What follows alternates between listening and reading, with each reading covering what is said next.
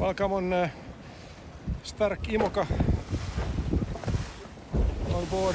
We have now some uh, small minor troubles on uh, mainsail uh, batten car ends and uh, they have been uh, screwing on opening by themselves even how hard we locked them earlier but uh, first there was this one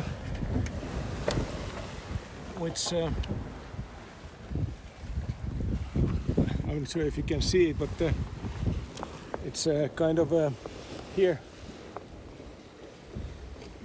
And um, that was screwed open, and now we have the second one, which is almost open here, as you can see.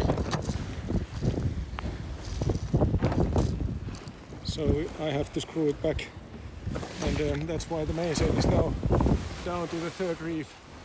Luckily, it's uh, quite mild, nice weather to do these kind of checks. Stay tuned. Okay, now the work is done. Hopefully, it stays now at this time. I put some uh, epoxy between the threads, so hopefully it will stay there.